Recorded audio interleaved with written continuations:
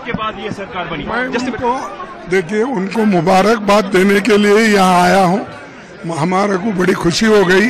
हमारी alliance partner के नेता ने आज चीफ मिनिस्टर बना। बहुत दिन के बाद डेमोक्रेसी यहाँ एस्टैब्लिश हुई है और इस डेमोक्रेसी को ज़िंदा रखने के लिए और संविधान के तहत सरकार चलाने के लिए ये एक मौका मिला है। हम ज़रूर इसको स्टेटहुड दिला के रहेंगे। के बाद ये सरकार बनी। मैं उनको देखिए उनको मुबारकबाद देने के लिए यहाँ आया हूँ। हमारे को बड़ी खुशी हो गई। हमारी अलायंस पार्टनर के नेता ने आज चीफ मिनिस्टर बना।